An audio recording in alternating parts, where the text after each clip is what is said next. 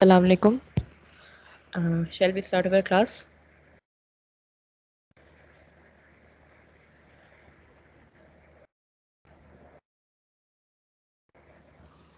Can you hear me clearly? Should we start our class?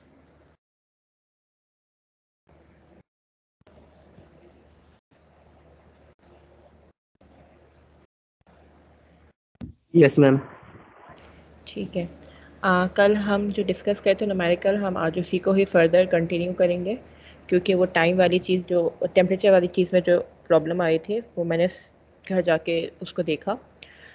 तो थोड़ी complicated बात है। इफ़ यू थिंक कि आप कंफ्यूज हो जाएँगे तो आप जो है उसको सिर्फ़ ज़ीरो के रेफरेंस पॉइंट से सुनिएगा। ठीक है? इफ़ यू थिंक कि आप अंडरस्टैंड कर सकते हैं थोड़ा कॉम्प्लिकेटेड हो तो फिर आप उसको फर्दर सुन लीजिएगा, मेरी बात को ज़रा फोकस में ठीक है, हम कह रहे थे कि हमारे पास जो टी आई है, हमने कहा था कि T I minus T infinity यानी जो बॉल का इनिशियल टेम्परेचर था थर्मोकपल का, और जो हमारे पास सराउंडिंग का टेम्परेचर था या गैस का जो टेम्परेचर था, उनके डिफरेंस का 99 परसेंट किस टाइम पे अचीव होगा, हमें ये मालूम करना था। तो हमने क्या किया था? हमने कहा था कि अगर हम ज़ीरो को रेफरेंस पॉइंट लें, यानी हमने टी आई को ज़ीरो ज़ीरो डिग्री सेंटीग्रेड हमने अज्यूम किया टी इन्फिनिटी को हमने अज्यूम किया लेट्स से हंड्रेड परसेंट क्योंकि ये मैक्सिमम है ना हमारे पास तो टी टी हमारे पास क्या हो जाएगा? नाइन्टी नाइन परसेंट क्योंकि हमारे पास उस इंस्टेंट पे हमारे पास 99 डिग्री सेंटीग्रेड आएगा तो यानी वो हमारे पास इनिशियल डिफरेंस का 99 परसेंट हो जाएगा। तो हमने इस तरीके से किया था। हमने जब 200 और ज़ीरो डिग्री हमने अज्यूम किया था टी आई की वैल्यू और टी इन्फिनिटी की, जब हमने 200 डिग्रीज अज्यूम की थी, तब हमारे पास जो 99 परसेंट आ रहा था, वो 198 डिग्रीज पे आ रहा था। तब भी हमारे पास इसी तरीके से पैटर्न बन रहा था। लेकिन जब हमने बात की थी 25 की और 165 की तो हमारे पास आंसर में थोड़ा फ्लक्चुएशन आ रहा था। हमारे पास 0.01 वैल्यू नहीं आई थी, यानी हमारे पास 10 वो 1 परसेंट जो आना था, हमारे पास वो 1 परसेंट नहीं आता इनका रेशियो जैसे ये 99 परसेंट होना चाहिए, ये 100 परसेंट होना चाहिए। तो इन दोनों का रेशियो क्या होना चाहिए? 1 परसेंट वो नहीं आ रहा था, ठीक है? वो इसलिए नहीं आ रहा था। अब ये थोड़ी कॉम्प्लिकेटेड बात है। इसको ज़रा ध्यान से सुनना। ठीक है? इनिशियली ये ग्राफ को देखो। मैंने इसके अंदर काफ़ी सारे जो है अपने अज्यूमिंग पॉइंट्स को वो किया है। अपनी तरफ़ से मैंने पॉइंट्स अज्यूम किए ठीक है टेम्परेचर्स के। ठीक है, हमारे पास लेट से वो कह रहे हैं कि सराउंडिंग का टेम्परेचर हंड्रेड डिग्रीज है। ठीक है, और हमारे पास तो इनिशियल बॉल का टेम्परेचर जो इनिशियल थर्मोकपल है, उसका टेम्परेचर ज़ीरो डिग्रीज है। तो इनका डिफरेंस क्या हुआ? ज़ीरो और हंड्रेड का हंड्रेड डिग्रीज हुआ। तो हंड्रेड डिग्रीज का हमारे पास नाइन्टी नाइन परसेंट क्या हुआ? नाइन्टी नाइन डिग्रीज़ तो हमारे पास टी टी क्या हो गया? हमारे पास 99 डिग्रीज जब हमने ये वैल्यूज़ रखी तो हमारे पास एग्जैक्टली exactly जो हमने कहा था वन परसेंट हमारे पास आंसर आता है, यानी zero point zero one value आ रही थी। इन दोनों का रेशियो हमारे पास आ रहा था वन परसेंट अगर हम सेम यही चीज़ दोबारा से रिपीट करें लेट से हमारे पास जो थर्मोकपल है, उसका इनिशियल टेम्परेचर ज़ीरो डिग्रीज है। और फाइनल जो हमारे पास सराउंडिंग का टेम्परेचर है, या गैस का टेम्परेचर है टू हंड्रेड डिग्रीज है। तो इन दोनों का डिफरेंस क्या हो गया हमारे पास? 200 डिग्रीज ठीक है? अब 200 डिग्रीज का हमारे पास 99 परसेंट क्या हो गया? 198 डिग्रीज ठीक है? तो हमारे पास कितना टाइम लगेगा थर्मोकपल को 198 डिग्रीज रीच करने में? ये हमारे पास क्या हो गया था? 0.1 परसेंट हमारे पास रिमेनिंग वैल्यू आ गई सॉरी 1 परसेंट रिमेनिंग वैल्यू आ गई थी। 0.01 इन दोनों का रेशियो आ गया था। लेकिन जब हम यही चीज़ 25 के लेकर रहे थे तो हमारे पास सही एक्यूरेट आंसर नहीं आ रहा था zero point zero one value नहीं आ रही थी। वो इसलिए नहीं आ रही थी कि पहले हमारे पास जो रेफरेंस टेम्परेचर था, वो ज़ीरो था। अब हमारे पास जो रेफरेंस टेम्परेचर है, वो ट्वेंटी फाइव है। ठीक है, हमने क्या किया? हमने देखा हमारे पास जो बॉल का टेम्परेचर है थर्मोकपल का टेम्परेचर है, वो ट्वेंटी फाइव है। और जो सराउंडिंग का टेम्परेचर है, वो वन सिक्सटी फाइव है। तो हमने इनका डिफरेंस निकाला। इनका डिफरेंस क्या आया? वन फोर्टी डिग्रीज ठीक है 140 डिग्रीज का हमारे पास 99 परसेंट क्या होता है? 138.6 डिग्रीज ठीक है? यही किया था हमने। जब हमने सारी वैल्यू सब्सिट्यूट की थी तो हमारे पास आंसर क्या आ रहा था? 0.87 समथिंग आ रहा था। एम आई करेक्ट बताओ मुझे। यस मैं 0.811 करके ठीक है? अब द प्रॉब्लम इज़ कि हमारे पास पहले जो रेफरेंस टेम्परेचर था वो ज़ीरो था। अब हमारे पास जो रेफरेंस टेम्परेचर वो ज़ीरो नहीं है और ट्वेंटी फाइव तो डू यू थिंक कि जो 138.6 है ये लाइन के हिसाब से देखो 138.6 से ये 99 परसेंट है इस दोनों का डिफरेंस का। डू यू थिंक जो मैंने स्केल ड्रॉ किया है इस स्कोल को गौर से देखो। क्या आपको लग रहा है कि ये 198 है? वो सॉरी 99 डिग्रीज है। नहीं है। क्यों? क्योंकि ये हमारे पास डिफरेंस का तो 99 डिग्रीज है। लेकिन इसने ये हमारे पास डिफरेंस का 190 यानी इसको 25 प्लस 138.6 डिग्रीज अचीव करना था ताकि इसका 99 डिग्री हो जाए। ठीक है तो जब मैं अगर इसके अंदर अपना रेफरेंस पॉइंट ऐड करूँ अगर मैं 99 के अंदर अपना रेफरेंस पॉइंट ऐड करूँ ज़ीरो तो 99 ही रहेगा। अगर मैं 138.6 के अंदर अपना रेफरेंस पॉइंट ऐड करूँ 25 तो मेरी वैल्यू जाएगी 163.6 तो ये क्या हो गया मेरे पास अब? 99 परसेंट हो गया 165 और 25 के दरमियान का। एम आई करेक्ट क्या आपको ये पॉइंट लग रहा था? 99 परसेंट है इस लाइन का इस स्केल का। कहीं से. भी नहीं। ठीक है क्यों? क्योंकि मैंने अपना रेफरेंस टेम्परेचर ही ऐड नहीं किया। ये तो मुझे ज़ीरो से लेके 140 तक का बता रहे 99 परसेंट ठीक है? मैंने क्या किया था? इन दोनों का डिफरेंस लिया था 140 तो ये तो मुझे 140 का 99 परसेंट बता रहा है ना? लेकिन मेरी जो वैल्यू स्टार्टिंग वैल्यू है, वो ज़ीरो तो नहीं है, जो मैं 140 का 99 परसेंट ले लूँगी। मेरी स्टार्टिंग वैल्यू क्या है? 25 है। तो मैं 25 प्लस 140 का 99 परसेंट तो मेरी वैल्यू क्या हो जाएगी? 163.6 तो ये क्या है मेरा? 99 परसेंट है मेरा 25 और 165 के डिफरेंस का। एम आई करेक्ट अगर मैं लेट्स से एक और टेम्परेचर लेती हूँ मैंने कहा कि थर्मोकपल का टेम्परेचर 47 डिग्रीज है। और मैं कह रही हूँ सराउंडिंग का टेम्परेचर 198 डिग्रीज है। ठीक है तो इन दोनों का डिफरेंस कितना आएगा? आई थिंक 151 आएगा। ठीक है तो 151 का मैं मैंने कहा 99 परसेंट कितना हो गया? 149.9 ठीक है अब ये 149.9 मेरे पास 90 परसेंट हो गया। 99 परसेंट हो गया 151 का। ठीक है? तो ये ज़ीरो से 151 का 99 परसेंट है, लेकिन मेरा रेफरेंस टेम्परेचर क्या है? 47 है। मेरा स्केल ज़ीरो से तो स्टार्ट ही नहीं हो रहा। इनिशियल टेम्परेचर जो मेरा थर्मोकपल का है, वो ज़ीरो तो है ही नहीं। वो तो 47 है। तो ऑब्वियस सी बात है, मुझे इस 99 परसेंट के अंदर अपना इनिशियल टेम्परेचर जो ये गैप है ना, इस गैप को मुझे अकोमोडेट करना पड़ेगा इसमें। तो जैसे ही मैं 149.9 में 47 ऐड करूँगी, मेरे पास आ जाएगी 196.49 तो ये वाली वैल्यू जो है, ये 99 परसेंट शो कर रहा है हमारे पास। जो हमारे पास टेम्परेचर है। तो यानी हमारे पास थर्मोकपल कब 99 परसेंट अचीव करेगा इनके डिफरेंस का। तो ये वो वैल्यू शो करे डिफरेंस आप क्या करोगे? सिंपली या तो आप सबसे आसान तरीका है कि आप ज़ीरो अज्यूम कर लो। तो आपकी चीज़ें आसान हो जाएँगी। ठीक है? आपको इतनी कॉम्प्लिकेशन में पढ़ना नहीं पड़ेगा। लेट्स से अगर आप ज़ीरो अज्यूम नहीं करते हो, आपने कोई और टेम्परेचर अज्यूम किया 25 अज्यूम किया तो आप क्या करोगे? इनके डिफरेंस का 99 परसेंट निकालोगे। और अपने रेफरेंस पॉइंट को, यानी 25 को ऐड कर दोगे इस 99 परसेंट के साथ। तो आपके पास ये एक्चुअल वैल्यू दे देगा कि आपके पास कितना टेम्परेचर होगा उसका 99 परसेंट पर। अभी जो 138.6 है, ये आपको कहीं से लगता है कि ये हमारे पास जो है अचीव कर रहा है 99 परसेंट थर्मोकपल का टेम्परेचर ये तो मेरे हाल में अराउंड 80 परसेंट होगा या 75 आई थिंक 80 परसेंट होगा ये वैल्यू ठीक है तो ये हमारे पास क्या कर रहा है? ये सिर्फ़ हमारे पास 140 डिग्रीज का बता रहा है 90 परसेंट कितना है लेकिन जब आपका स्केल ज़ीरो से स्टार्ट नहीं हो रहा तो 140 तो आप एज इट इज़ 140 का 99 परसेंट यूज़ नहीं करोगे। आप अपने स्केल को देखोगे, आपका स्केल कहाँ से स्टार्ट हो रहा है? आपका स्केल जो टेम्परेचर का स्टार्ट हो रहा है ट्वेंटी से तो आप इस वैल्यू के अंदर अपना स्केल ऐड करोगे। ठीक है, नाइन्टी नाइन में आप ज़ीरो ऐड करो, नाइन्टी नाइन रहेगा। ठीक है, वन नाइन्टी एट में आप ज़ीरो ऐड करो, वन नाइन्टी एट ही रहेगा। अब one thirty eight point six के अंदर आप ट्वेंटी फाइव ऐड करो, क्योंकि आपका रेफरेंस पॉइंट क्या हो गया? ट्वेंटी फाइव हो गया। तो one sixty three point six आ गई वैल्यू तो ये आपका क्या है? Ninety nine percent of the this temperature ये जो टेम्परेचर रेंज है, इसका 99 परसेंट है ये 163.6 ठीक है? अगर आपके पास अगला टेम्परेचर रेंज है 47 और 198 तो इसका 99 परसेंट क्या हो जाएगा? आप इनके डिफरेंस का 99 परसेंट निकालोगे और फिर अपना रेफरेंस पॉइंट ऐड कर दोगे तो 196.49 आपका क्या हो गया? टेम्परेचर हो गया 99 परसेंट जो 198 और 47 के बिटवीन लाई कर रहा है। Did you understand my point जी बोलिए। यस जी बोलिए।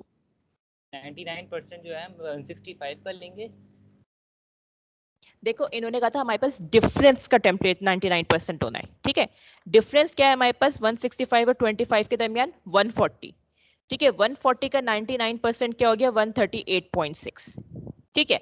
अगर हम 138.6 अज्यूम करते हैं अपना टेम्परेचर तो ये तो ज़ीरो से हमारे पास बताए ना 140 का 199 परसेंट हमारा स्केल तो ज़ीरो से स्टार्ट ही नहीं हो रहा, हमारा स्केल तो 25 से स्टार्ट हो रहा है। तो ऑब्वियसली बात है, इस 138.6 के अंदर आप 28 ऐड करो 25 ऐड करोगे ताकि वो आपको बताए कि ये जो 140 का डिफरेंस है, इसके अंदर आपके पास क्या वैल्यू आ रही है आफ्टर योर मतलब रेफरेंस पॉइंट इंकॉपरेट करने के बाद। ठीक है, ये रेफरेंस पॉइंट इंकॉपरेट करने से पहले थी तो ये ज़ीरो से बता रही थी 140 का डिफरेंस जो था 138 अब जैसे आप ज़ीरो को ऊपर अपना स्केल अप करोगे, आपने अपना इनिशियल टेम्परेचर 25 रखा है तो ये 138 की वैल्यू भी आपकी क्या होगी? स्केल अप होगी। इसके अंदर भी 25 ऐड करोगे आप। ठीक है तो वो क्या हो जाएगी? 163.6 यहाँ पर आपका कन्वीनियंस क्या थी? यहाँ पे आपके पास आसानी ये थी कि ज़ीरो से स्टार्ट हो रहा था। तो आपको कुछ ऐड नहीं करना पड़ा था रेफरेंस पॉइंट आपका ज़ीरो था। लेकिन यहाँ पे आपका रेफरेंस पॉइंट ज़ीरो नहीं है, यहाँ पे आपका रेफरेंस पॉइंट 25 है। ठीक है? तो वैसे इन दोनों के डिफरेंस का जो हमारे पास 99 परसेंट हुआ, वो 138 हुआ। ठीक है?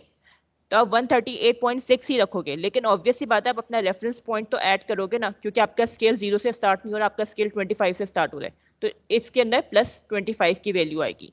इसी तरीके से इसके अंदर प्लस 47 की वैल्यू आएगी। क्योंकि आपने अपने इनिशियल पॉइंट को इंकॉपरेट करना है। ये तो ज़ीरो से बता रहे हैं हमारे पास। ज़ीरो से वन नाइन क्या कहते हैं वन फिफ्टी वन में जो हमारे पास नाइन्टी नाइन परसेंट है वो वन फोर्टी नाइन है। लेकिन आपका स्केल ज़ीरो से स्टार्ट नहीं हो रहा आपका स्केल फोर्टी सेवन से स्टार्ट हो रहा है। समझ आई है मेरी बात? ये थोड़ा कॉम मतलब थोड़ा दिमाग लगाओगे तो समझ आ जाएगी। ये ग्राफ ड्रॉ करोगे तो समझ आ जाएगी वाली बात। समझ आई है या नहीं आई है? Do you want me to repeat yes miss समझ गए। समझ गया मैम सबसे कन्वीनियंट तरीका ये है, क्योंकि अपनी चीज़ों को सिंप्लीफाई करना चाहिए, हमें हमें फजूल में कॉम्प्लिकेशन में पढ़ना नहीं चाहिए। तो बेहतर ये कि हम रेफरेंस पॉइंट ज़ीरो ही हमेशा कंसीडर वैसे भी हम अज्यूम करते हैं तो जब भी हम बेसिस लेते हैं तो हम हंड्रेड की लेते हैं बेसिस क्योंकि हंड्रेड हमारे पास सबसे कन्वीनियंट है, या वन की बेसिस लेते हैं हम। वन अज्यूम करते हैं हंड्रेड अज्यूम करते हैं, या ज़ीरो अज्यूम करते हैं रेफरेंस पॉइंट ज़ीरो से ये होता है, हमारे पास जब हम रेफरेंस पॉइंट ज़ीरो रखते हैं तो आगे पीछे की जो कैलकुलेशन होती है वो सिंप्लीफाई हो जाती है। जब हम अपनी बेसिस हंड्रेड रखते हैं या वन रखते हैं तो हमारे पास जो आंसर आता है, वो यूनिट में आते हैं आंसर हमारे पास। ठीक है? हम कभी भी अपनी वैल्यू जब आप अज्यूम कर अपनी तरफ़ से मास अज्यूम कर रहे हो या अपनी तरफ़ से लेंथ अज्यूम कर रहे हो तो आप कभी भी जो है मास या लेंथ को आप जो है ना टू नहीं रखोगे थ्री नहीं रखोगे। आप कोशिश करते हो आप उसको वन रखो, ताकि आपका पर के में आंसर आए। ठीक है? तो हमारे पास हमें अपनी चीज़ों को सिंप्लीफाई करना होता है। तो बेहतर ये है कि रेफरेंस पॉइंट आप ज़ीरो रखो, लेकिन इफ़ इन केस अगर आपको वाली बात समझ आ गई है क्योंकि आगे फ्यूचर में बहुत सारे ऐसे न्यूमेरिकल्स में भी आपको कभी रियल लाइफ में ऐसे हो तो उसके अंदर आपको ये वाली बात पता होनी चाहिए कि रेफरेंस पॉइंट का बहुत रेफरेंस पॉइंट बहुत इंपॉर्टेंस रखता है। ठीक है तो जब आप रेफरेंस पॉइंट ज़ीरो होगा तब आपने कुछ नहीं करना। लेकिन जब आपका रेफरेंस पॉइंट ज़ीरो नहीं है उसके अलावा कोई और वैल्यू है तो आप रेफरेंस पॉइंट को अपने इंक्लूड करोगे अपनी सारी कैलकुलेशन के अंदर। मिस जी बोलिए।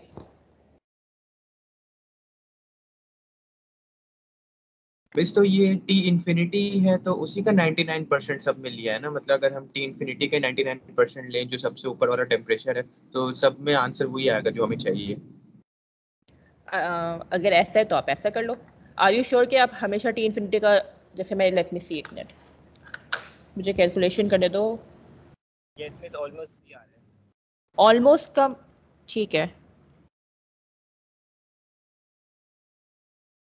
हाँ ऑलमोस्ट यही आ रहा है आंसर तो ये कर लो, लेकिन ऑलमोस्ट आ रहा है। 163.35 आ रहा है, यहाँ पे 163.6 आ रहा है।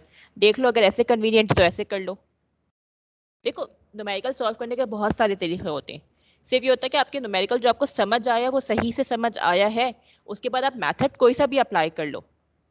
आपको अगर समझ सही से आया, आपने चीज़ों को सही से कॉम्प्रिहेंड कर लिया है, सही से अंडरस्टैंड कर लिया है तो आप सही तरीके से कैलकुलेशन करोगे। कैलकुलेशन के तरीके बहुत होते हैं। मैथ सिर्फ़ एक तरीके से सॉल्व नहीं होती है। अगर आपको ये बात समझ आ गई है कि टी इन्फिनिटी आपके पास मैक्सिमम टेम्परेचर है टी आई आपके पास इनिशियल टेम्परेचर है। जो टी टी की वैल्यू होगी वो 99 परसेंट होगी इन दोनों का। अगर आपको वाली बात समझ आ गई है तो आप किसी भी तरीके से सॉल्व कर लो उसको। इट डज नॉट मैटर ठीक है? कोई प्रॉब्लम इस न्यूमेरिकल के अंदर? कोई ऐसी चीज़ जो समझ ना आई हो या कोई कॉम्प्लिकेशन हो गई do you want me to repeat the numerical again no miss ठीक है let's move on to another numerical एक और न्यूमेरिकल है उसकी। ठीक है? अच्छा ये न्यूमेरिकल है ये हमारे पास थोड़ा सा डिफरेंट है। डिफरेंट क्यों है ये मैं बता दूँगी। वैसे कैलकुलेशन तो सारी सेम है लेकिन इसके अंदर हम जो है लम सिस्टम अप्लाई नहीं हो रहा होगा लेकिन हम फिर भी लम सिस्टम अप्लाई करेंगे।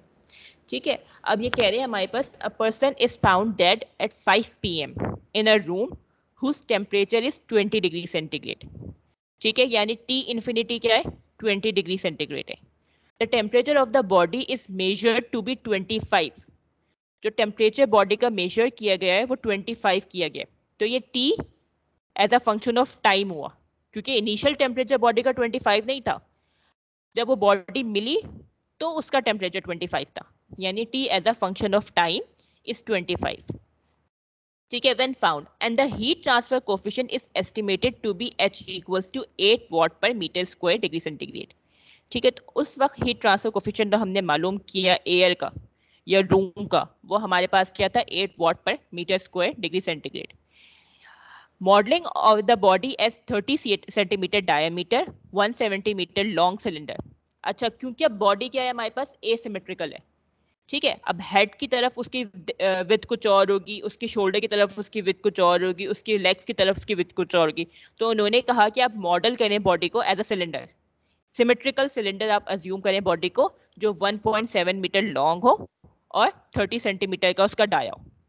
Now estimate the death of the person आपने टाइम मेजर करना है कि उस जो पर्सन की डेथ हुई थी, वो किस टाइम पर हुई थी। ठीक है? अगर बॉडी शाम पाँच बजे मिली है तो। ठीक है, समझ आ गई आपको ये वाली बात? अब हम अपना डाटा लेते हैं। डाटा में हमारे पास क्या गिवन है? T as a function of time यानी जब बॉडी मिली, जिस टाइम पर, उस टाइम पे बॉडी का टेम्परेचर क्या था? 25 डिग्री सेंटीग्रेड ठीक है? रूम का टेम्परेचर क्या था? 20 डिग्री सेंटीग्रेड हमें मालूम करना है टोटल टाइम कितना हो गया बॉडी को? वो हुए हुए ना? अब हमारे पास जो डायमीटर है बॉडी का, वो उन्होंने कहा है अज्यूम करें थर्टी सेंटीमीटर ठीक है, अब ये सेंटीमीटर है, इसको आपने मीटर में लेकर आना है। ठीक है लेंथ उन्होंने कहा, आप अज्यूम करें, जो पर्सन की लेंथ है, वो 170 1.7 मीटर अज्यूम करें। हीट ट्रांसफ़र कोफिशिएंट इन्होंने दिया है eight watt per metre square ठीक है, अब हमारे पास काफ़ी सारी चीज़ें हैं, जो हमारे पास गिवन नहीं है। थर्मल कंडक्टिविटी नहीं गिवन है, हमारे पास डेंसिटी नहीं गिवन है स्पेसिफिक हीट कैपेसिटी नहीं गिवन है। ठीक है तो हम क्या करेंगे? रेफर करेंगे अपने टेबल अपेंडिक्स क्योंकि सारी चीज़ें जो कॉन्स्टेंट है ऑलमोस्ट तो हम वहाँ से ईजिली हम फाइंड आउट कर सकते हैं। लेकिन ये फाइंड आउट करने से पहले हमें कुछ अजम्पन्स बनानी पड़ेंगी, क्योंकि ऑब्वियसली बात है, काफ़ी सारी चीज़ें हैं जिसके अंदर वो होती है। तो सबसे पहले एजम्पन क्या होगी हमारे जो थर्मल प्रॉपर्टीज़ है बॉडी की और हीट ट्रांसफ़र कोफिशेंट है, वो कांस्टेंट है। यानी उसकी स्पेसिफिक हीट कैपेसिटी कांस्टेंट है। चेंज नहीं हो रही है अलॉन्ग दी बॉडी ठीक है, उसकी डेंसिटी सेम है अलॉन्ग दी बॉडी चेंज नहीं हो रही है। उसकी थर्मल कंडक्टिविटी सेम है अलॉन्ग दी बॉडी चेंज नहीं हो रही है। उसका टेम्परेचर यूनिफॉर्म है along the body temperature change नहीं हो रहा है। ऐसा नहीं कि हेड पे कुछ और टेम्परेचर है और लेग पे कुछ और टेम्परेचर है। जो रेडिएशन इफ़ेक्ट है, वो नेग्लिजिबल है। ठीक है? क्योंकि बहुत माइन्यूट से रेडिएशन हो रही होगी। अच्छा थर्ड जो हमने अजम्पन की है, वो किया the person was healthy when he और शी डाइड ये हमने क्यों अजम्पन की है? क्योंकि हमारे पास बॉडी का हमें टेम्परेचर चाहिए इनिशियल टेम्परेचर वैसे नॉर्मली ह्यूमन बॉडी का टेम्परेचर क्या होता है? 37 डिग्री सेंटीग्रेड होता है, ठीक है? 97.8 डिग्री फ़ारेनहाइट ठीक है? तो सॉरी 98.6 डिग्री फ़ारेनहाइट होता है। तो 37 डिग्रीज हमने इसलिए एज्यूम किया अगर वो हेल्दी नहीं होगा, या उसको फीवर होगा, या उसको कोई और प्रॉब्लम होगी तो ये टेम्परेचर क्या होगा? डिफरेंट होगा।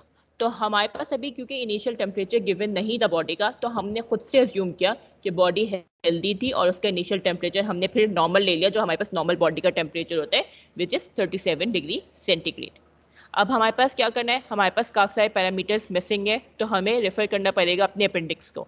ठीक है, हमें के चाहिए डेंसिटी चाहिए स्पेसिफिक हीट कैपेसिटी वगैरह चाहिए। ठीक है तो हम उसके लिए अपने हम एक और अजम्पन करते हैं। हमने ये अज्यूम किया सिंस हमारी बॉडी है, वो 72 परसेंट वाटर होती है बाय मास ठीक है? तो हमारी जो बॉडी की करेक्टरिस्टिक्स हैं, वो सम हाउ वाटर के कंपैरिजन में होंगी। वाटर की क्लोज होंगी। ठीक है? तो हमने क्या किया? हमने अपने एवरेज टेम्परेचर लिया और उस एवरेज टेम्परेचर पे जो वाटर की प्रॉपर्टीज़ हैं, हमने उसको ही ले लिया। क्योंकि ह्यूमन बॉडी का आप, क्योंकि आप ये नोमेरिकल सॉल्व करो वैसे अगर हम ये रियल लाइफ में करते हैं फॉरेंसिक्स वगैरह में करते हैं तो उनके पास तो हमारी बॉडी की एक्चुअल सारी लिटरेचर मौजूद होता है कि हमारी बॉडी की थर्मल कंडक्टिविटी कितनी होती है हर टेम्परेचर पर।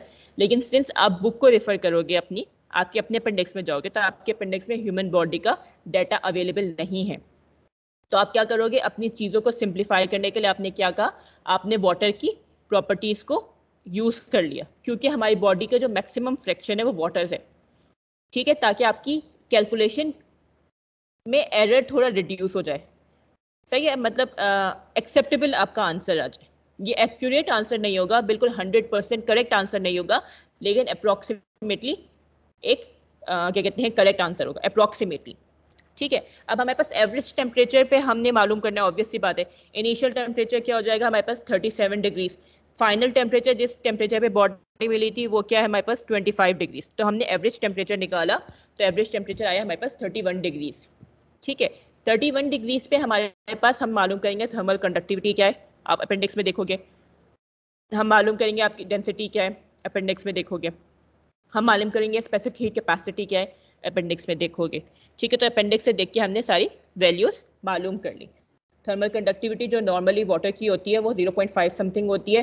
At this temperature it is 0.61 watt per metre degree centigrade और हमारे पास जो वाटर की डेंसिटी होती है, इसका टेम्परेचर पे कोई फ़र्क नहीं होता है एच तो ये क्या है? 99 sorry 99 point sorry 99 K G per metre cube specific heat capacity हमने वाटर की देखी, जो हमारे पास 31 डिग्रीज पर है, वो है 4178 जूल पर केजी डिग्री सेंटीग्रेड ठीक है, इसके अंदर कोई प्रॉब्लम अब तक कोई ऐसी चीज़ जो समझ ना आई हो? Do you want me to repeat anything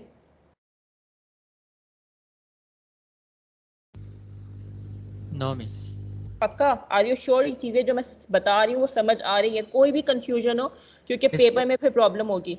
appendix की जो चीज़ें हैं मिस ये अपेंडिक्स से हमें मिलेंगी डायरेक्ट या फिर हमें खुद निकालनी होंगी अपेंडिक्स बेटा अपेंडिक्स में आपको डायरेक्ट मिल जाएँगी। आपको जो है एग्जैक्टली थर्टी वन डिग्रीज पे नहीं मिलेंगी। आपको मे बी थर्टी सेवन उस पर मिले तो आप उसको जो है इट्रेशन करके या वही वैल्यूज़ आप एज इट इज़ यूज़ कर लो। जैसे हमने एक न्यूमेरिकल किया था कंडक्शन का। जिसके लिए हमारे पास कोई 400 डिग्रीज पे टेम्परेचर पे चाहिए था, लेकिन हमारे पास 400 डिग्रीज पे अवेलेबल था 372 पे अवेलेबल था।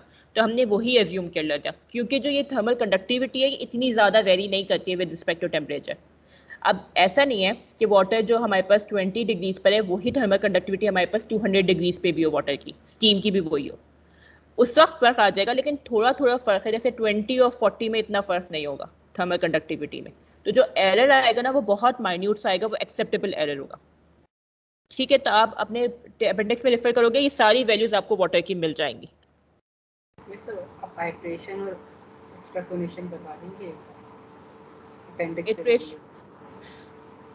ठीक है चलो अगर टाइम बचा तो। क्योंकि हमारे पास हमें हीट एक्सचेंजर अभी करना है हीट एक्सचेंजर बहुत ज़्यादा टाइम लेंगे अगले वीक से हम हीट एक्सचेंजर स्टार्ट करेंगे। हीट एक्सचेंजर ख़त्म करने के बाद जो जो चीज़ें बोलोगे ना, मैं सारी चीज़ें दोबारा से रिवाइज करवा दूँ लेकिन पहले हमें हीट एक्सचेंजर कवर करना है, क्योंकि वो बहुत इंपॉर्टेंट है। ठीक है? अच्छा अब हम सोल्यूशन की तरफ़ जाते हैं। हमें सबसे पहले क्या करना पड़ेगा? करेक्टरिस्टिक लेंथ मालूम करनी पड़ेगी। हमने करेक्टरिस्टिक लेंथ मालूम करने के लिए हमारे पास डायामीटर गिवन है सिलेंडर का और लेंथ गिवन है सिलेंडर की। ठीक है? डायामीटर और लेंथ की वजह से हम क्या निकालेंगे? वॉल्यूम और एरिया ठीक है? सिलेंडर का वॉल्यूम क्या होता है? Pi r square l. ठीक है? अब यहाँ पे जो हम आर एज्यूम करें जब हम बात कर रहे थे सिलेंडर की कंडक्टिविटी के अंदर कंडक्शन के अंदर तो उसके अंदर हमारे पास इनर और आउटर रेडियस होता था। वो हम उस वक्त इसलिए इनर और आउटर रेडियस हम अज्यूम करते थे, क्योंकि हमारे पास बीच में हॉलो सिलेंडर होता था। ठीक है? ये हॉलो सिलेंडर नहीं है, ये पूरा क्या है? कॉम्पैक्ट सिलेंडर है। तो हम इसके अंदर सिर्फ़ आउटर रेडियस लेंगे, जो हमारे पास गिवन है। ठीक है तो हमारे पास वॉल्यूम क्या हो गया? पाई आर स्क्वायर ये जो ज़ीरो लगाया हुआ है, ये आउटर रेडियस शो कर रहा है, या यानी टोटल रेडियस शो कर रहा है हमारे पास इन टू एल और हमारे पास जो एरिया सिलेंडर का होता है, वो होता है two two pi r not L plus two pi r square ये सारी वैल्यूज़ आपको मिल जाएँगी ऑनलाइन आपको, आप लिखोगे वॉल्यूम ऑफ़ द सिलेंडर आपके पास फॉर्मूला आ जाएगा. आप लिखोगे एरिया ऑफ़ द सिलेंडर आपके पास यही फॉर्मूला आ जाएगा. ठीक है, इसमें कोई इतनी मसले वाली बात नहीं है. वैल्यू सब्सिट्यूट करो आपके पास, ठीक है? आपके पास डायमीटर गिवन था तो डिवाइड बाय टू कर दोगे। आपके पास आई थिंक थर्टी सेंटीमीटर था। ठीक है तो थर्टी सेंटीमीटर का हाफ़ क्या होगा? फिफ्टीन सेंटीमीटर फिफ्टीन सेंटीमीटर को आप कन्वर्ट करोगे मीटर में तो zero point one five metre आ जाएगा। ठीक है, इसी तरीके से आपके पास 1.7 मीटर लॉन्ग थी ना शायद बॉडी हाँ 1.7 मीटर लॉन्ग थी। तो आपने वैसे इस वैल्यू सब्सिट्यूट की, आपके पास सारी वैल्यूज़ नोन है, आप सब्सिट्यूट करोगे, आपके पास करेक्टरिस्टिक लेंथ आ जाएगी, हमारी करेक्टरिस्टिक लेंथ आ गई zero point zero six eight nine metre अच्छा अब यहाँ पे देखो कि बॉडी हमारे पास इरेगुलर शेप में थी। तो करेक्टरिस्टिक लेंथ से क्या हुआ? हमने वॉल्यूम और एरिया की वजह से एक उसकी एवरेज लेंथ निकाल ली। ठीक है, अगर हमारे पास स्फेयर होता है या हमारे पास सिलेंडर बिल्कुल ए सिमेट्रिकल सिलेंडर होता है, या हमारे पास स्क्वायर होता है तो उसके ना हमारे पास थ्रू आउट द विद हमारे पास लेंथ सेम रहती है, या थ्रू आउट द हाइट हमारे पास लेंथ सेम रहती है। लेकिन हम अगर हम ह्यूमन बॉडी की बात करें, या हम किसी और चीज़ की बात करें तो अलॉन्ग द विद या अलॉन्ग द हमारे पास हाइट हमारे पास लेंथ चेंज हो रही होती है। ठीक है? या अलॉन्ग द थिकनेस हमारे पास लेंथ चेंज हो रही होती है। तो हम करेक्टरिस्टिक लेंथ का पर्पस यही होता है कि आप एरिया और वॉल्यूम की मदद से एक एवरेज लेंथ निकाल लोगे। अब हम क्या करेंगे? बी एट नंबर मालूम करेंगे। बी एट नंबर क्या है हमारे पास? H into L c upon k h हमारे पास नोन है। एल सी हमने मालूम कर लिया। के हमने अपेंडिक्स से देख लिया। हम वैल्यू सब्सिट्यूट करेंगे and then we will get our Biot number Biot number हमारे पास आया ज़ीरो पॉइंट एट नाइन ठीक है? Which is greater than zero point one तो यहाँ पे आपको पता चल गया कि लम्ब सिस्टम एप्लीकेबल नहीं है। ठीक है? लेकिन जब हम लम्ब सिस्टम एनालिसिस की बात कर रहे थे तो हमने कहा था कि क्राइटेरिया ये होता है कि हमारे पास 0.1 से इक्वल या 0.1 से less than value Biot number की। ठीक है? मैंने, लेकिन वो क्या है? सिर्फ़ क्राइटेरिया है। वो कोई हार्ड एंड फास्ट रूल नहीं है, वो कोई लॉ नहीं है। अब हमारे पास हमें टाइम मालूम करना है तो टाइम मालूम करने के लिए हमारे पास और कोई चीज़ गिवन नहीं है। हमारे पास हीट ट्रांसफ़र हमारे पास एनर्जी गिवन नहीं है। अगर हमारे पास एनर्जी गिवन होती तो हम हीट ट्रांसफ़र रेट मालूम करते और उसके बाद एनर्जी से हम मालूम कर लेते कितना टाइम रिक्वायर्ड है। लेकिन जब हमारे पास एनर्जी मालूम नहीं है एनर्जी कंटेंट मालूम नहीं है हमारे पास बॉडी का तो हमारे पास कोई और ऑप्शन नहीं है बी एट नंबर यूज़ करने के लिए। अब हमने देखा जो बी एट नंबर है, वो इतना ज़्यादा डिफरेंस नहीं है। ऐसा नहीं कि बी नंबर सेवन हो बी नंबर टेन हो बी एट नंबर थाउज़ेंड हो, क्योंकि बी एट नंबर की वैल्यू इतनी भी चली जाती है रेंज में। तो ये थोड़ी हद तक जो है करीब है ज़ीरो पॉइंट वन से। तो अगर हम यूज़ करेंगे लम्ब सिस्टम तो हमारे पास जो आंसर आएगा, उसके अंदर एरर होगा। ऐसा नहीं कि वो हंड्रेड परसेंट करेक्ट आंसर होगा, लेकिन वो हमें एक अप्रोक्सीमेट टाइम बता देगा। हम इसीलिए कहते हैं ना, जब भी हमें फोरेंसिक से रिपोर्ट आती है, हम फोरेंसिक वाले ये कहते हैं कि दो से तीन घंटे हुए इसकी डेथ को, या फाइव से सिक्स आवर्स हुए वो एक एग्जैक्ट टाइम नहीं बताते कि इसकी तीन बज के बीस मिनट पर डेथ हुई है। वो एक हमें टाइम रेंज देते हैं, क्योंकि इन सब चीज़ों में एरर के चांसेस होते हैं। तो अगर हम लम सिस्टम यूज़ कर लें इस सिनेरियो के अंदर तो हमें एक अप्रोक्सीमेट आंसर दे देगा, क्योंकि बी नंबर ज़्यादा है, लेकिन इतना ज़्यादा नहीं है कि हम बिल्कुल ही यूज़ ना कर सकें। अगर बी नंबर सेवन होता या बी नंबर टेन होता तो फिर आप सोचोगे कि आपको यूज़ करना चाहिए या नहीं करना चाहिए, फिर आप कोई और तरीका यूज़ करोगे। लेकिन जो बी नंबर आया, कुछ हद तक करीब है। तो आप क्या करोगे? यूज़ कर लोगे, लेकिन आपको ये होना चाहिए कि एरर है इसके अंदर, ये बिल्कुल एक्यूरेट वैल्यू नहीं है। तो जब आप आंसर लिखोगे तो आप उसके अंदर इक्वल नहीं लगाओगे बल्कि अप्रोक्सीमेट लगाओगे। ये वाली बात समझ आई मेरी? यस मिस ठीक है अब हम क्या करेंगे? वैल्यू बी की मालूम करेंगे। बी की वैल्यू क्या है? हीट वो heat transfer coefficient into surface area divide by density volume and specific heat capacity value substitute करो you will get your answer b की वैल्यू आ गई मेरे पास 2.79 point seven nine exponent minus five second inverse ठीक है? Units का ख्याल रखना लाजमी लाजमी। सारे यूनिट एक ही उसमें होने चाहिए। ठीक है?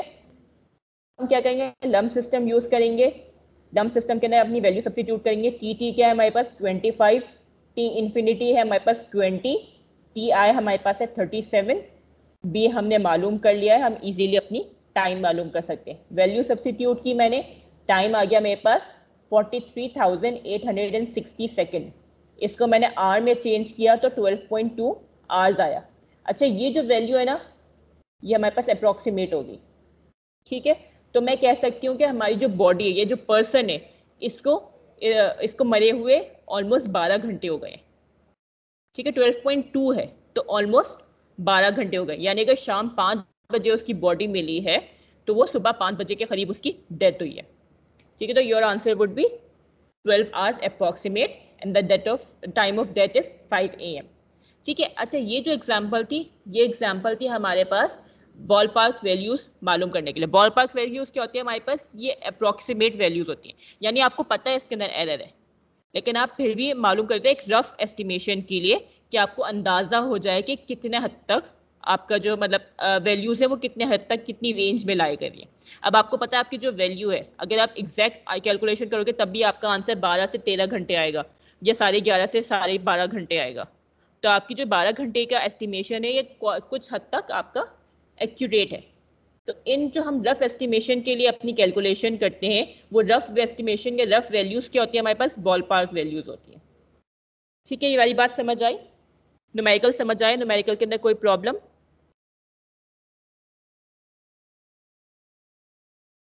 नो मैम ठीक है अच्छा ये लम सिस्टम यहाँ पे ख़त्म हो गया। अब हम लम अब हम जो है नेक्स्ट वीक से हीट हीट एक्सचेंजर्स करेंगे। ठीक है, अगर इसके अंदर कोई भी प्रॉब्लम हो तो यू कैन आस्क नाउ जितना हमने अभी इस वीक में पढ़ा है लम सिस्टम के बारे में। फिर मेरे पास आपके लिए एक न्यूमेरिकल है, जो आपका असाइनमेंट है। आपने उसको टीम्स पे अपलोड करना है। ठीक है, मैं आपको असाइनमेंट यहाँ पे भी आपको दिखा देती हूँ, और मैं टीम्स पे भी अपलोड कर दूँगी असाइनमेंट तो आप वहीं पे ही मुझे फिल करके दे दीजिएगा बाय नेक्स्ट क्लास यानी ट्यूसडे को अगर हमारी क्लास है तो आप मंडे शाम छः बजे तक मुझे सबमिट करवा दीजिएगा टीम्स पर। ठीक है, असाइनमेंट बहुत आसान है। और असाइनमेंट के लिए मैं बता दूँ, असाइनमेंट पढ़ के दिमाग लगा के सॉल्व कीजिएगा। लाजमी नहीं है कि ये लम सिस्टम से सॉल्व हो। ठीक है, बल्कि मैं कह रही हूँ, ये लम सिस्टम से सॉल्व नहीं होगा। या अगर आपने लम सिस्टम से सॉल्व करना है तो आप सॉल्व करके कोशिश कर लो। आई हैव नो आइडिया लेकिन ये लाजमी नहीं है कि लम सिस्टम से सॉल्व हो। ठीक है अब होमवर्क ये आपके पास consider a person standing in a breezy room at 16 degree centigrade determine the total rate of heat transfer from this person if the exposed surface area and the average outer surface temperature of the person are 1.6 meter square and 34 degree centigrade respectively. And the convection heat transfer coefficient is 6 watt per meter square degree centigrade. ठीक है? आपको उन्होंने कहा है कि एक person है breezy room में है। रूम का जो टेम्परेचर है, वो 16 डिग्री सेंटीग्रेड है। अब ऑब्वियसली बात है ह्यूमन बॉडी हमारे पास 37 डिग्रीज पे होती है। इवन सर्दी में भी थोड़ा बहुत ही ऊपर नीचे 37 ही होता है हमारे पास। अब मुझे बताना है कि हमारे पास कितना, हमारे पास हीट ट्रांसफ़र होगा। अगर जो पर्सन का टेम्परेचर है, वो 34 डिग्री सेंटीग्रेड है और उसका जो एरिया है, उस पूरे पर्सन का एरिया जो कांटेक्ट में आ रहा है, उस ब्रीजी रूम के, वो 1.6 मीटर स्क्वायर है। तो आपने बताना है कि क्या हीट ट्रांसफ़र रेट होगा। अब ये आप मुझे बताओगे कि आपने खुद से इसको अंडरस्टैंड करना है। अच्छा लाजमी नहीं है कि जो पोर्शन मैंने पढ़ाया ये सिर्फ़ उसी पोर्शन से हो। ये अब तक आपने हीट ट्रांसफ़र करना जितना भी कुछ पढ़ा है, सही है? ये उस सब में से कुछ भी है। आप यूज़ करो। ऐसा कोई हार्ड एंड फास्ट रूल लेके मेरा सेक्शन है या मैं नमेरिकल दे रही हूँ तो जो चीज़ें मैंने पढ़ाई हैं, ये उसी से सॉल्व होगा। ठीक है ये आपके कोर्स का नमेरिकल है चाहे वो सर हसाम ने पढ़ाया हो चाहे वो मैंने पढ़ाया हो आपको खुद ये आइडेंटिफाई करना है कि आप किस तरीके से सॉल्व करोगे। नमेरिकल देने का पर्पज़ यही है कि आप आपको पता हो आप चीज़ें कॉम्प्रीहेंड कर सको कि आपने किस वक्त में कौन सी चीज़ इस्तेमाल करनी है किस वक्त में आपने किस तरीके से अपनी प्रॉब्लम्स को सॉल्व करना है। ठीक है कोई प्रॉब्लम आज की क्लास में? Monday six o'clock time मेरा टाइम तो है फ्राइडे सैटरडे संडे मंडे काफ़ी नहीं इतना टाइम एक न्यूमेरिकल ही तो है I think it will hardly take five to ten minutes five minutes is sufficient for this एक न्यूमेरिकल है सिर्फ़. तो मैं सब इंक्लूड सब स्लाइड्स कब अपलोड करें? स्लाइड में अभी अपलोड कर दूँगी अभी अभी. और ये असाइनमेंट भी अभी अपलोड कर दूँगी. लम सिस्टम के बारे में कोई प्रॉब्लम कोई ऐसी चीज़ जो समझ नहीं है क्योंकि बस हमारी क्लास वाइंड अप हो गई है. मैं नया टॉपिक इसलिए स्टार्ट नहीं करवा रही कि वो हम नेक्स्ट क्लास में ही करेंगे. रिव्यू दे देंगे थोड़ा सा अपेंडिक्स का वैल्यूज़ किस तरह ठीक है मैं दे देती हूँ। बुक खोलने दें।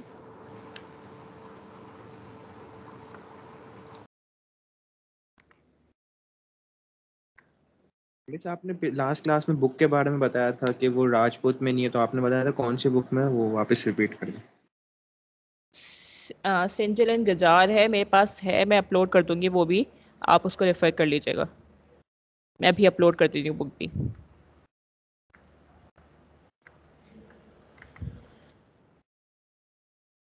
एक मिनट। एंड गजार के अंदर अपेंडिक्स नहीं है, मुझे करंट खोलनी पड़ेगी लेट मी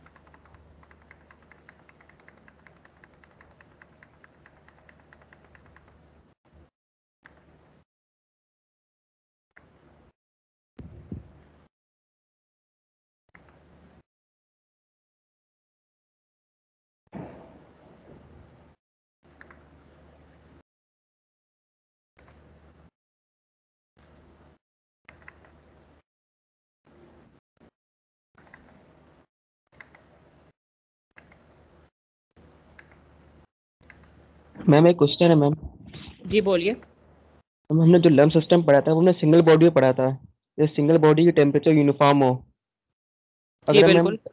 अगर हम डबल बॉडी यूनिफॉर्म होता नहीं हम अस्यूम करते हैं यूनिफॉर्म होता है अगर हम सर्कल ना सर्कल कर दें और जो आउटर सर्कल है उसका टेम्परेचर सिक्स सेल्सियस हो सिक्स हंड्रेड और जो हाँ। इनर हो वो थ्री हंड्रेड हो अगर यूनिफॉर्म हो तो उस पर लम सिस्टम अप्लाई हो सकता है क्या?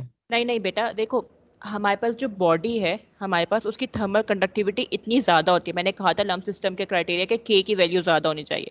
तो थर्मल कंडक्टिविटी इतनी ज़्यादा होती है कि अगर उसकी आउटर सरफेस 600 है तो विद इन इंस्टेंट उसके इनर का टेम्परेचर कोर का टेम्परेचर भी 600 पे पहुँच जाना चाहिए। अगर ये नहीं है तो फिर लम सिस्टम अप्लाई नहीं हो सकता। क्योंकि लम सिस्टम का क्राइटेरिया यही है कि टेम्परेचर यूनिफॉर्म होना चाहिए। अगर टेम्परेचर यूनिफॉर्म नहीं है तो एरर आएगा। वो अलग ऑब्जेक्ट हो वो कोई? वो फिर आप नॉर्मल कंडक्टिविटी अप्लाई करोगे। जो फोरियर्स लॉ है ना Yes, फिर वो अप्लाई करोगे। अ, मैं अपेंडिक्स खोल रही हूँ मुझे ढूंढना पड़ रहा है एक्चुअली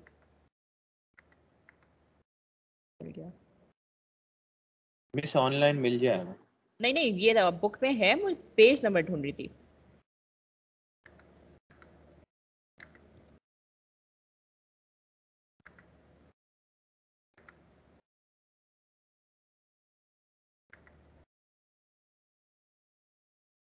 ठीक है can you see the PDF Karn?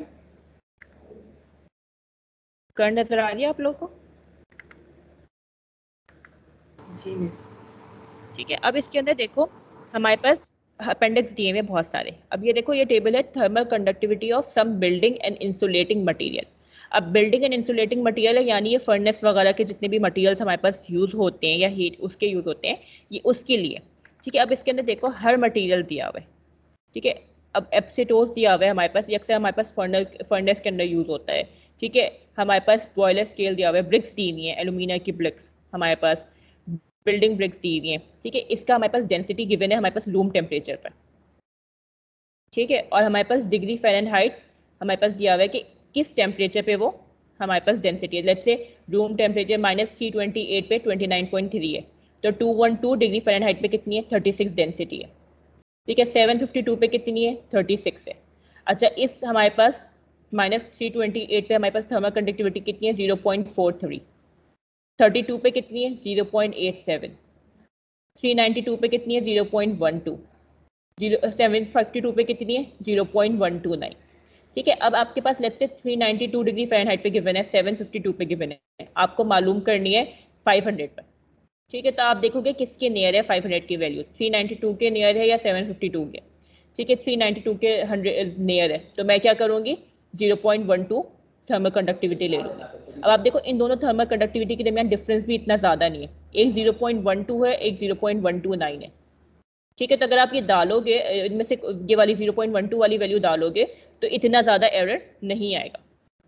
ठीक है, अब आप देखो 212 पे भी 36 डिग्री इसका वो है डेंसिटी है। 752 पे भी इसकी डेंसिटी 36 है। ठीक है 392 पे भी इसकी डेंसिटी 36 है।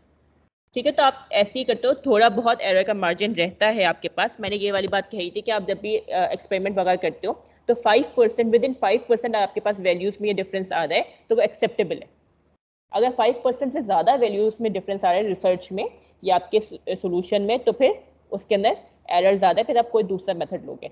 तो ये जो इतना सा डिफरेंस होता है पॉइंट्स का, ये आपको फाइव परसेंट तक फाइव परसेंट से अंदर ही वैल्यू इनकी आएँगी विद इन फाइव परसेंट ठीक है? कोई प्रॉब्लम इसके अंदर?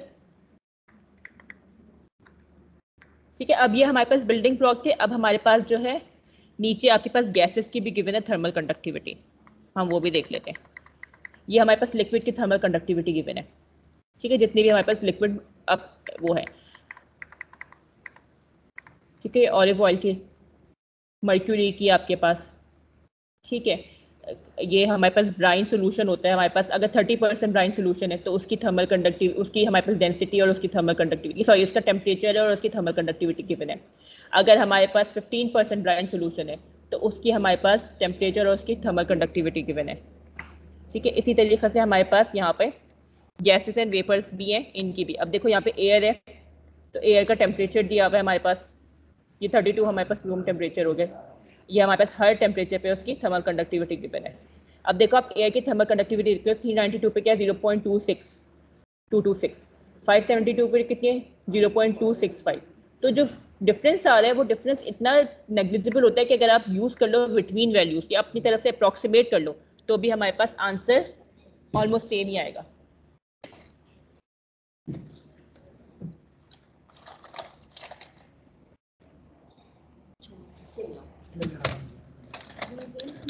ठीक है कोई प्रॉब्लम इसके अंदर वैल्यू समझ आ रही है? और अपेंडिक्स कैसे रीड करना है समझ आ रहा है या और भी कोई इश्यूज़ अगर डिफरेंस हो दोनों वैल्यूज़ के अंदर फिर क्या करेंगे? अगर बहुत ज़्यादा डिफरेंस है तो फिर आप एवरेज ले लोगे उनका। एक्सट्रापोलेशन और इंटरपोलेशन किस तरह करते हैं? टू बी वेरी ऑनेस्ट मुझे नहीं आता इतना अच्छा। ठीक है? इटरेशन मुझे फिर भी आती है लेकिन एक्सट्रापोलेशन इंटरपोलेशन मुझे नहीं आती इतनी I am sorry I can not answer that आप ये खुद से देख लेना।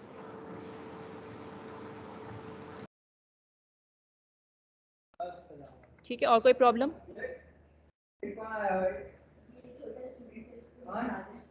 बेटा एडमिशन हो गया क्या? दाखिला करा दिया तुमने? अगर इस उम्र में उसका दाखिला यहाँ हो जाता कोई प्रॉब्लम और कोई चीज़ जो समझ ना आई हो? हिसाब से नो तो मैम इसका फिर काम भी नहीं होगा ना फिर अमेरिकन के अंदर किसका कहीं नुमेरिक किसका? ग्राफ के अंदर जैसे वैल्यूज़ बहुत ज़्यादा डिफरेंस है। तो हम एवरेज लेने दोनों का। अगर नहीं है तो फिर किसी को भी एज्यूम कर लेंगे। हाँ इतना डिफरेंस नहीं आएगा। बहुत नेग्लिजिबल एरर आएगा। मैं आपको यही बता रही हूँ। अगर अगर कुछ समझना है ना तो सबसे आसान तरीका ये कि एवरेज ले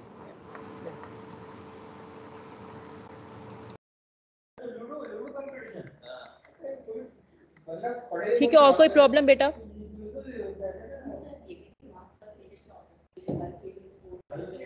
आप- पढ़ेंगे क्या पढ़ेंगे? I think condensers and boilers आपके कोर्स में नहीं है आपके कोर्स में हीट एक्सचेंजर्स हैं और इवेपोरेटर्स हैं। कंडेंसर बॉयलर्स हैं नहीं आपके कोर्स में। हीट एक्सचेंजर्स पढ़ेंगे और काफ़ी डिटेल में पढ़ेंगे उनकी डिज़ाइनिंग वगैरह भी करेंगे। नेक्स्ट वीक से इंशाल्लाह ट्यूसडे से हम हीट एक्सचेंजर्स ही स्टार्ट करेंगे। कोई और प्रॉब्लम किसी को? वरना दैट्स ऑल फॉर टुडे कोई भी क्वेश्चन हो नो प्रॉब्लम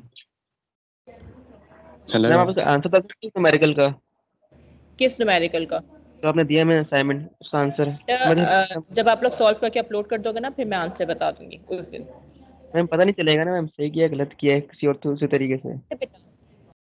और देखो मार्क्स के बारे में परेशान नहीं हो। गलत किया और सही किया और इट डज नॉट मैटर आपने अटेम्प्ट किया और किस तरीके से अटेम्प्ट किया दैट मैटर्स ठीक है, आपने गलत किया, आपने सही किया, अगर आपने अटेम्प्ट करने की कोशिश की है जेनवनली तो you will get full marks The answer does not matter. The method matters. कोई प्रॉब्लम टीचर एक चीज़ क्लियर कर दें। जी बोलिए। टीचर ये वाली सारी चीज़ें तो समझ में आ हैं टीचर अभी मैंने पेपर वर्क करा ना थोड़ा सा उसका टेम्परेचर डिफरेंस वाले क्वेश्चन कर दो टीचर आपको अपने क्वेश्चन नंबर वन में जो आपने न्यूमेरिकल दिया था हमें आपने जिसमें बताया था कि हमारा टी टी की वैल्यू हमारी टी इनिशियल और टी सराउंडिंग के डिफरेंस के बराबर है। तो टीचर आपको ये वाली स्टेटमेंट तो फिर चेंज करनी पड़ेगी ना अगर आप हमें ये वाली अप्रोच के साथ प्रोसीड करने का नहीं, बोल रहे हैं तो। नहीं मैं वो वाली स्टेटमेंट को बिल्कुल ठीक है। मैंने कहा कि टी टी आई और टी इन्फिनिटी यानी हमारे जो इनिशियल टेम्परेचर और सराउंडिंग का टेम्परेचर है उसके डिफरेंस के 99 परसेंट है। वो वाली बात तो बिल्कुल ठीक है ये तो इसमें भी इम्प्लीमेंट हो रही है। देखो डिफरेंस मैं दोबारा से स्लाइड शेयर कर देती हूँ। That would be. कन्वीनियंट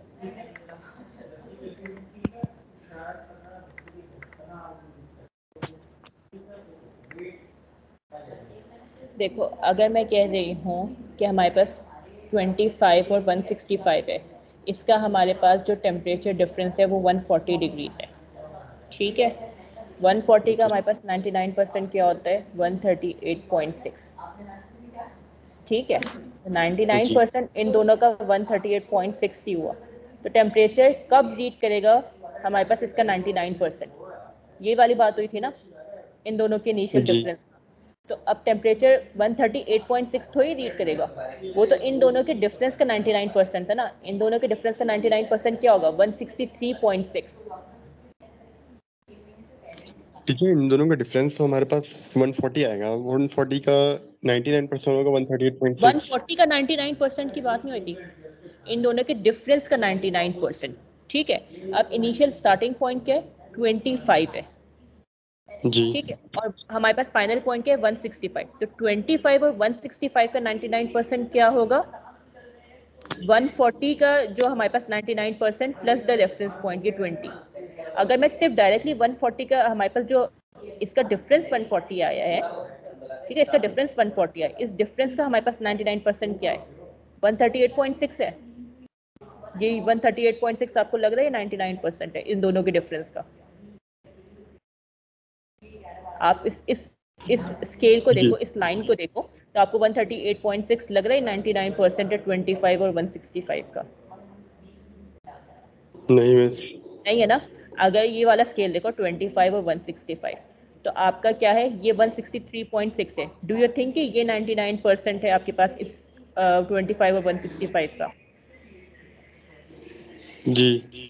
हाँ अब देखो ये वाली बात अग्री कर लेना। अब देखो हम जब इसका डिफरेंस निकाले 140 और उसका 99 परसेंट निकाल रहे तो एक तरीके से वो ज़ीरो और 140 का 99 परसेंट हुआ ना। यानी स्टार्टिंग पॉइंट क्या हो गया? आपका ज़ीरो हो गया और फाइनल पॉइंट क्या हो गया? आपका 140 हो गया। है ना? 140 जी। आपके पास 100 परसेंट है अगर। डिफरेंस 100 परसेंट क्या डिफरेंस है आपके पास? 140 का। तो 99 परसेंट डिफरेंस क्या हो गया? 138.6 तो इस 99 परसेंट डिफरेंस जो आपके पास आया इसको आप इनिशियल पॉइंट के अंदर ऐड करोगे ना वरना तो वो ज़ीरो से आपको वैल्यू बताएगा। लेकिन आपका भी पॉइंट तो ज़ीरो नहीं है इनिशियल अभी आपका इनिशियल पॉइंट क्या है? 25 है। जी जी सही सही सही। 25 और 165 के दरमियान का डिफरेंस 140 है। और उस 140 डिफरेंस की 99 परसेंट वैल्यू क्या हो गई? 138.6 तो अब इस 25 से 138.6 डिग्रीज ऊपर जाओगे। तो इस 25 से 135 डिग्रीज ऊपर जाओ। 138.6 डिग्रीज ऊपर जाओ। तो क्या वैल्यू आ रही है? 133.6 अच्छा अब ये 47 आपके पास इनिशियल टेम्परेचर है और 198 आपके पास फाइनल टेम्परेचर है। इन दोनों का डिफरेंस क्या आ रहा है? 151 ठीक है? 151 का आपके पास 99 परसेंट क्या होगा? मुझे बताओ। 149.9 अब वो इस 47 से 149.9 डिग्रीज ऊपर जाओ तो क्या वैल्यू आ रही है? 196.49 तो टी टी क्या होगा हमारे पास? T as a function of time की वैल्यू क्या होगी? 196.49 ठीक है अब यहाँ पे ज़ीरो है हमारे पास ठीक है और यहाँ पे हमारे पास हंड्रेड है। तो इस हंड्रेड और ज़ीरो का हमारे पास डिफरेंस क्या हुआ? हंड्रेड तो हंड्रेड की हमारे पास नाइन्टी नाइन परसेंट क्या हुआ? नाइन्टी नाइन डिग्रीज तो अब इस ज़ीरो से नाइन्टी नाइन डिग्रीज ऊपर जाओ तो आपकी टी टी की वैल्यू क्या हो जाएगी? नाइन्टी नाइन सही इसी तरीके से इनिशियल टेम्परेचर ट्वेंटी फाइव है final temperature one sixty five है। इन दोनों का हमारे पास डिफरेंस हुआ वन फोर्टी वन फोर्टी की हमारे पास नाइन्टी नाइन परसेंट है one thirty eight point six तो इस पॉइंट से 138.6 डिग्रीज ऊपर जाओ। तो जो वैल्यू होगी आपकी वो आपका क्या होगा? 99 परसेंट होगा। अब समझ ओके रही बात? जी जी क्लियर है। थैंक यू मिस और कोई प्रॉब्लम किसी को?